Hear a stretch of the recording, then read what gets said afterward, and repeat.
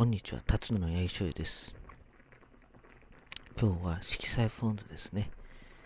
えー、八木醤油の、えー、柚子醤油のポン酢、色彩ポン酢を使って、えー鶏の水炊きですね。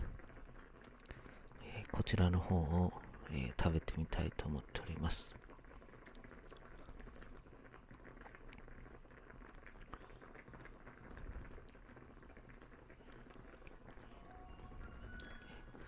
えーとても美味しいので、えーぜひ皆さん、えー、ヤギ醤油の色彩ポン酢ですね、えーぜひよろしくお願いいたします。